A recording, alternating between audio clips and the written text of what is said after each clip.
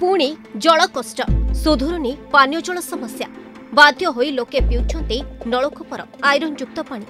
ଏ ଦୃଶ୍ୟ ହେଉଛି କଟକ ଜିଲ୍ଲା ମାହାଙ୍ଗା ବ୍ଲକ କଇଥା ପଞ୍ଚାୟତ ଗୋଠମୁହାଁ ଗାଁ ଯେଉଁଠି ପାଖାପାଖି ପଚାଶରୁ ଉର୍ଦ୍ଧ୍ୱ ପରିବାର ବସବାସ କରନ୍ତି। ଏଠାରେ ଜଳ ଯୋଗାଣ ପ୍ରକଳ୍ପ ରହିଛି ସବୁ ସାହିକୁ ପାଇପ୍ ମଧ୍ୟ ବିଛାଯାଇଛି। ହେଲେ ଆସୁନି ପାଣି।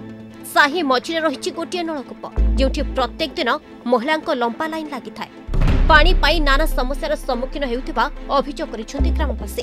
ଏ ପାଇପ୍ ଆଠ ବର୍ଷ ହେଲାଣି ଖୋଳା ହେଲାଣି। ଆମେ ପାଣି ଟିକେ ଖାଇପାରୁନୁ ଆଠ ତିରିଶ ଚାଳିଶ ଘର ଆମେ କାରବାର କରୁଛୁ। ଯୋଉ ଖାରିଆ ଲୁଣିଆ ଆଉ କ୍ଷୀର ସି- ଚା ହେଇପାରୁନି କ୍ଷୀର ଛିଡ଼ି ଯାଉଛି ଡାଲି ହେଇପାରୁନି କିଛି ଖାଇ ଖାଦ୍ୟରେ ଖାଇ ହେଉନି ଆଉ ଭାତ ବି ଛିଡ଼ି ଯାଉଛି କିଛି ହେଉନି ନା ପିଇ ପାରୁନୁ। ଆଉ ପିଇବା ପାଣି ତ ଇଏ ଭଲ ପା- ପାଣି ପଡ଼ିଲାନି ଆଉ ତ ଖୋଳି ଦେଇକି ଗଲେ କହିଲେ ଏଠୁ ମାନୁନାହାନ୍ତି କହୁନାହାନ୍ତି ଶୁଣୁନାହାନ୍ତି ସୁଦ୍ଧା ଏ ନଈ ପାଣି ପିଉଛୁ ଆଉ କ'ଣ ସେଇ ପାଣିକି ଆମେ ଆଡ଼ଜଷ୍ଟ କରୁଛୁ ପୁଣି ଖାଇ ହେଉନାହିଁ ଆଉ ଏଇ ଅବସ୍ଥାରେ ରହିଛୁ ଯାହା କହିଲା ଆଉ ସେ ବି ଶୁଣୁନାହାନ୍ତି ହଁ ହଁ ହଁ ମାରୁଛନ୍ତି କିଛି କରୁନାହାନ୍ତି। ଯେମିତି ଭୋଟ୍ ପାଉଛନ୍ତି କିଛି କରୁନାହାନ୍ତି। ଗାଁର ପାଣି ସମସ୍ୟା ନେଇ ସ୍ଥାନୀୟ ସରପଞ୍ଚଙ୍କଠୁ ସରକାରୀ ଅଧିକାରୀଙ୍କୁ ଜଣାଇଥିଲେ ମଧ୍ୟ ମିଳୁଛି ଫମ୍ପା ପ୍ରତିଶ୍ରୁତି।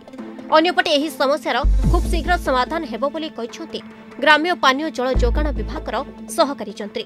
ଏ ଅସୁବିଧା ଆମେ ପାଞ୍ଚ ଛଅ ବର୍ଷ ହେଲା ତାକୁ କଣ- କଣ- କଣ ଭୋଗିଲୁଣୁ।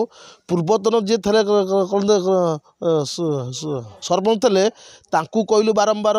ତାପରେ ଏବେ ଯିଏ ସରପଞ୍ଚ ଅଛନ୍ତି ତାଙ୍କୁ ବି ବାରମ୍ବାର ଆମର ବହୁତ ଥର କହି କହି କହି କହି ସେ ଶୁଣୁନାହାନ୍ତି ଟୋଟାଲି ହଁ ମୁଁ କହିଲି ଗୋଥମୁହାର ସେଠି ଯୋଉ ନଈ ପାଖରେ ଗୋଟେ ଜିଆଇ ପାଇପ୍ ଥିଲା ସେଟା କଣ ଡ୍ୟାମେଜ ହେଇଯାଇଛି? ଆଜ୍ଞା। ସେଥିପାଇଁ ଗୋଥମୁହାଟାକୁ ପାଣି ବର୍ତ୍ତମାନ ଚାଲି ପାରୁନି। ଆଜ୍ଞା। ତାକୁ ଆମେ ରିପେୟାର କରିଦେବା।